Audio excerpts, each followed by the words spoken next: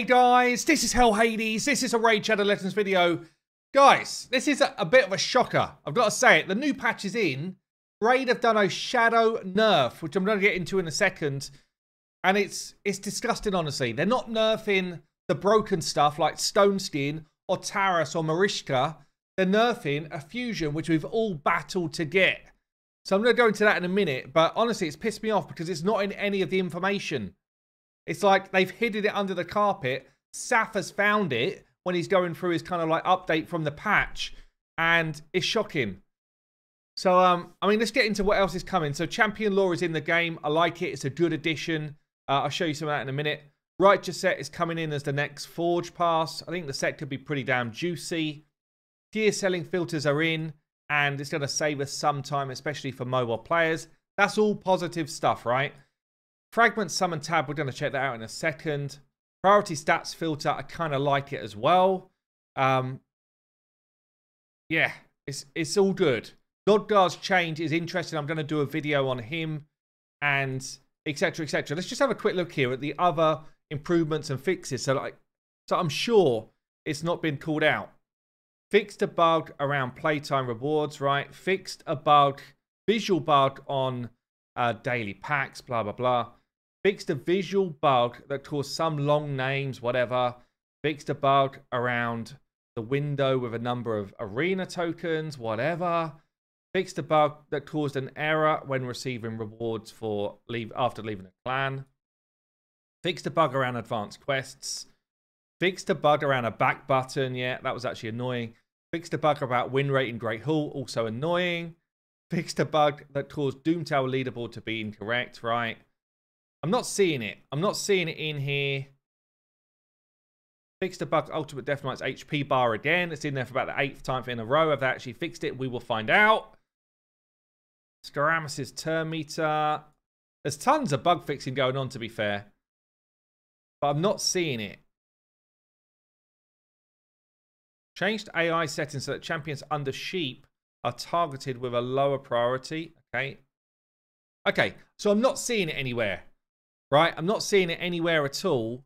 But what I'm going to do, I'm going to run my Clan Boss team, which I'm on my free to play here, right? My Clan Boss team for the last week has consistently done 27 to 30 million damage. Consistently, every single run. It's always against Void. It's been the same. Let's see what this one does. Whilst that's running, I'm just going to kick on with this, this fusion. So I did a video earlier. Do I think she's worth it? I've got to say, if we were guaranteed the partner, the Owlsgore partner, which might be an event coming up, we don't know.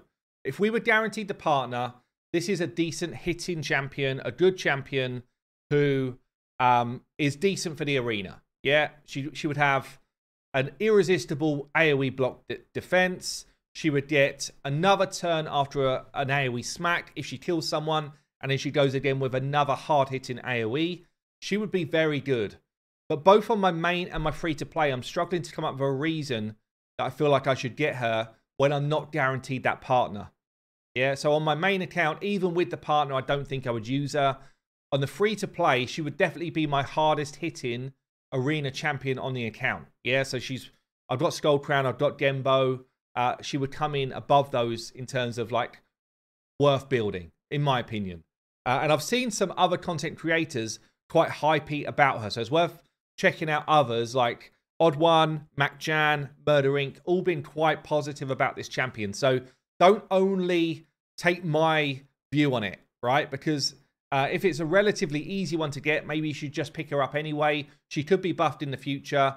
Uh, she could be changed, right? But let's have a quick look at the Fusion schedule here. So we kind of go Dragon Tournament, which has got Dungeon Divers in the mix as well. Champion Training at the same time. So you could kind of get Dungeon Divers done with those. How many points we got here? So you've got 115 points, which is normal. Summon Rush is 20 points. Champion Chase is 15. So you could skip Champion Chase if you can get the full 20 points from Summon Rush. Normally means you need around something like 5,000 points worth of Summon Rush, which is quite a lot to, to skip a Champion Chase. You might be able to just pick up the first five points in a summon rush, which is how I got Razelvarg, uh, and then do the champion chase if you've got more points available here. But ultimately, it's, it's very similar to the Razelvarg Fusion um, sort of setup in terms of events. You've got Arena, which you should just be able to do if you are active, two Arena events. You've got all of the different dungeon events, which as long as you can kind of farm stage 13 and above, you should be able to do with your daily grind of energy. Dungeon Divers is definitely a tough one. They've made it harder over the years. And you've got three of them. Uh, they normally back up, though, with something else. So, like Dragon alongside Dungeon Divers, alongside Champion Training. Got the second Dungeon Divers here alongside the Fire Knight. Actually, not much kind of doubling up, just Fire Knight with that one. And then you've got Champion Training. I guess it does kind of dovetail in, but I think they end as the other one starts, so probably not. Champion Training here, which kind of gives you a bit of Dungeon Divers, bit of Spider as well. There's three lots of artifact events, which again, if you're doing all the rest of the stuff, they're tough, but you should be able to do it. So it just comes down to do you have the shards to do champion chase normally? That's generally it, unless you just started playing the game a week ago, in which case fusions will be very tough. But ultimately, there's enough points here to, to grab them, and you probably need to do the first chunk of Summon Rush, and then you go into the champion chase. So it feels like as a fusion, it's about normal in terms of difficulty. If you've saved some resources, you've probably got a good chance that you could pick her up. It's normally down to whether you've saved enough shards and whether you've got like a few gems in the bank. Okay, so should you go for it? Up to you. I've done another video showcasing her. You can go and check that out. Uh, but let's get back to the topic at hand here. I'm going to add, there's only one thing today that's made me happy, and that is this. You can you don't have to watch the animation anymore. You can literally be like giving them some level, skip out, doing the next thing, skip out. That's a good change. So here we are. I've I've gone from doing on on average, let's call it 29 mil. Today, I've done 24.85 million. Almost lost a solid 5 million damage from my clan boss run. And I'm like, what's going on? What's changed? Ronda's still up there with the same level of damage, so Stag. Razelvarg is what's changed. Normally, he's 9 to 10 million damage. Today, 4 million. I've lost 5 million damage overnight because they've nerfed Razelvarg. They've not told us about it. They've not told us what the change is. I'm asking the powers that be, is this meant to have happened? Is this a mistake? Because right now, I'm properly pissed off. I worked my ass off to get this rabbit. On the free to play, I literally worked my ass off to make sure that this rabbit came home because I did some playtesting. I showed you guys some videos and I was like, this rabbit is absolutely going to change my account. I'm just about scraping a three key again.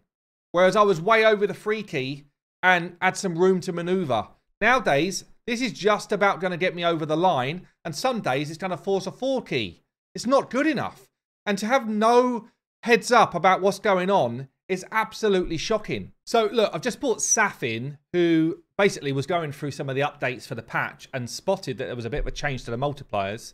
Saph, I know you've already done a video on this because you've also got a clan boss team that runs this build, right? Yeah. Um, yeah, talk us through it. What's going on?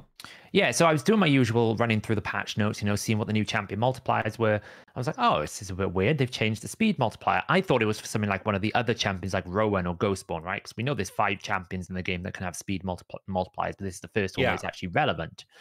And they've actually, like, and I was looking, I was like, what? Originally, I thought it was uh, basically they were trying to make the A1 stronger, which yep. it kind of technically is if you're running like no speed. If you're running like 100 speed, then the A1 is stronger because the attack component is higher.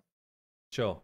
But what they've essentially done is in the old multiplier, the speed would be added into the attack multiplier. So it's almost like a multiplier of the attack multiplier. So, you know, for example, the average way it used to work was for the AoE abilities, 100 speed equals an extra one times attack. And then everything would add together and then it would just multiply by your attack value. So that's okay. how it kind of like grew. So the more speed you added, the more attack damage you did because essentially it added into the attack multiplier. And obviously, Razelvarg is scaling speed all the time through his passive, right? So exactly, you can get uh, really, even really someone fast. like my one here, I've got a 230 speed Razelvarg. Once he stacks, he will end up being what, like? What is it? 232. 232 speed, yeah. Well, you get 100 from the base speed, so that's 332. Then you're probably Yeah. using the aura with him, which is 20% on 110 base speed, so that's a little bit extra. Another 22, Um, yeah. Not to And mention if you've got like a blessing aura or something, but if you haven't, then you also get the speed buff, which Yeah. also goes in. So in reality, you're running probably near 460 speed in the actual battle Yeah. if you've got that speed buff up 100% of the time versus the 232. So that would that would be added into my multiplier all the time, right? On, Yeah. on all of his skills. So That would have been essentially, that in. would be an additional 4.6 times attack on top of his yeah. base, which is 1.5, right? So the, the two multipliers had a base of 1.5, and then they would add the speed on top. And the A1 was slightly different. It was like a 0.45, and it would multiply with the same ratio of speed, right? So instead of adding one, uh, like instead of it being like 100 speed is one attack, and then you add that on, the A1 was multiplier instead. So it's just slightly so- different.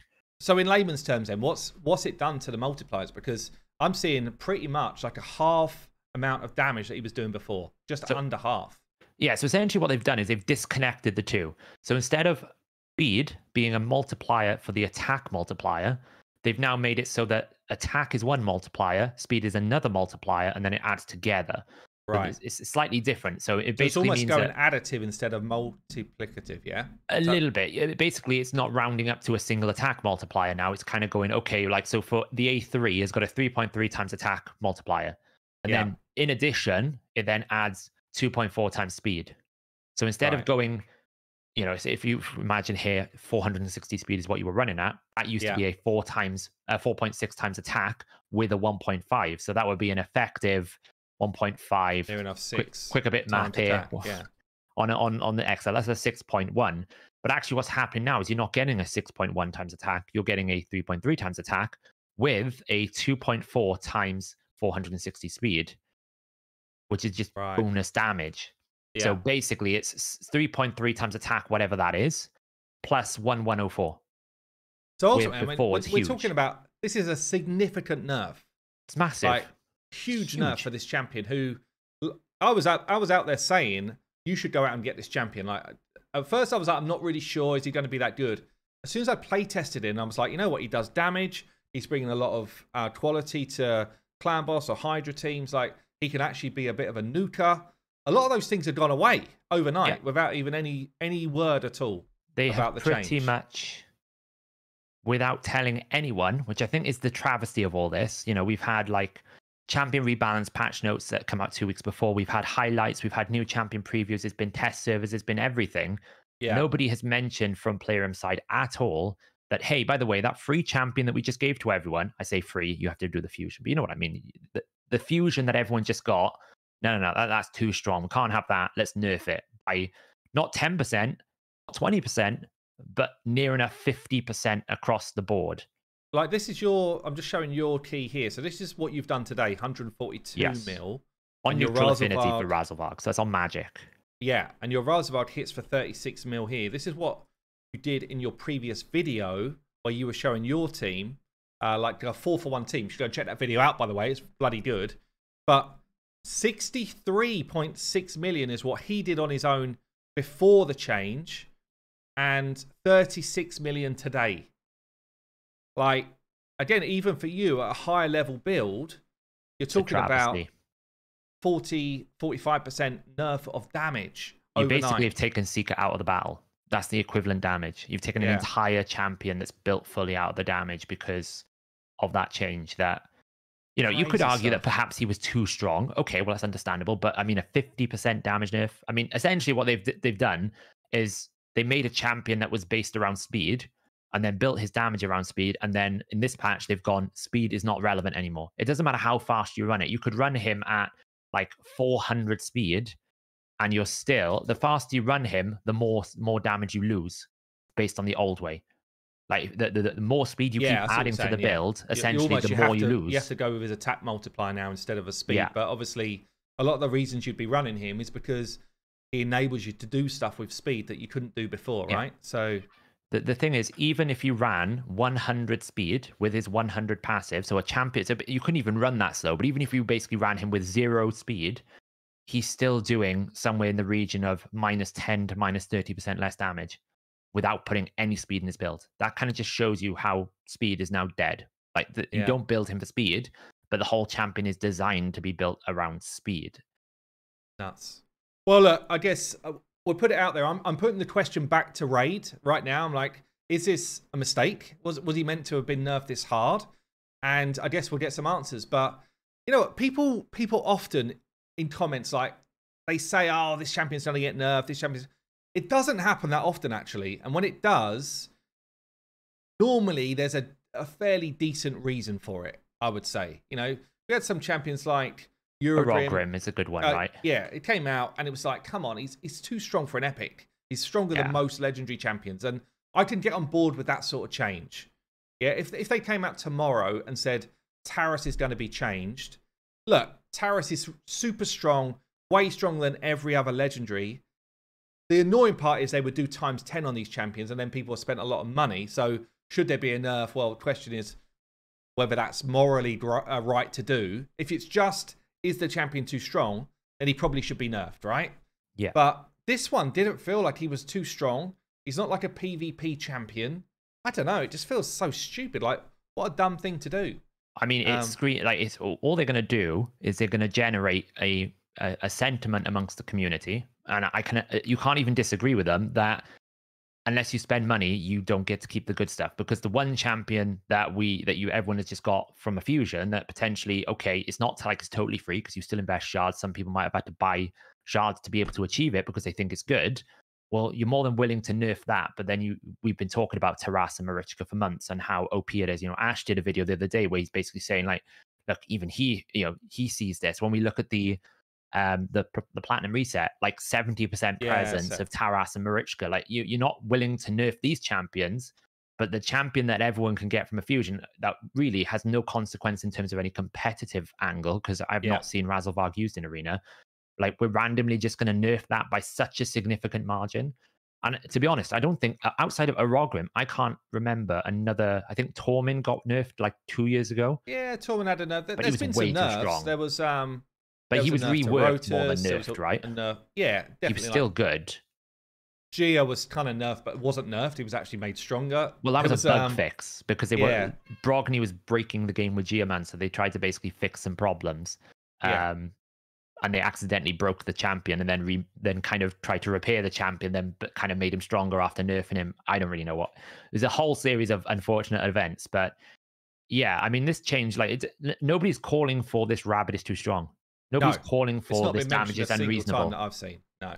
And you've now, like, especially on your free to play, I would say, you've just probably invested legendary books. Yeah, fully into like, that champion because he was good. Booked. Near enough. Is he fully booked? He is. He's fully booked for me, which on my free to play is a, is a massive amount of resources, and it was based on what I saw a week ago, not what I've just seen today.